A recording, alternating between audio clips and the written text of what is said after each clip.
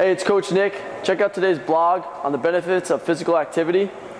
Today's video is going to focus on the proper box squat and free squat technique. Coach Mike's here. He's going to demonstrate for us. He's going to be our test dummy today. Okay, when you step into the box, when we're doing our, uh, stepping into the rack doing our box squat, it's very important, like Coach Mike is, you're getting lined up with the bar. You want a good grip on the bar. You want to get your mind right and step in and get underneath the bar. You want to be centered under the bar. All right, so when you step in, make sure the middle of the bar is on the center of your back between your ears. You just get your hips underneath the bar, your feet flat on the floor, and you can stand up with the bar. As Coach Mike is, he stands back, he steps back, he stays tight, his whole core is tight. He's gonna sit back on the box, keeping his core as tight as possible. Like I talked to the core, core work, you wanna keep tight. He sits back as far as possible, and he explodes up.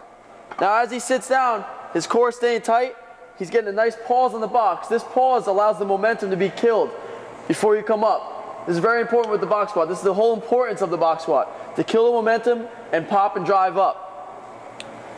Now as Coach Mike stands up, he's spreading the floor. His knees are popping out. He's pushing out to get better leg drive, keeping his heels on the floor, his butt back, his chest up, his head forward.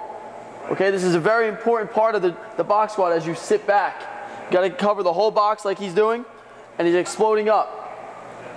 Good, Mike. You rack the bar. Good. So now we're gonna focus on another type of squat, the free squat. The only difference here is there's no box. The free squat allows us to go a little bit below parallel. And there's no momentum change. Mike, you want to just load it up? With the free squat, you're taking the same setup as the box squat. You're going to walk it back. You're going to keep that core nice and tight. Good. Now, as Big Mike sits back, his hips come back. His knees never pass his toes. They're sitting back the entire time. He comes back about parallel. That's where we like to focus on so we know we're getting deep. Most people who do the free squat don't get deep enough. Keep going, Mike. As he comes down the eccentric phase, he goes down nice and slow and he pops up nice and fast, very explosive. This move is supposed to be done explosive. If you want to build strength and power, this is where you do it for the lower body. Good job, Mike.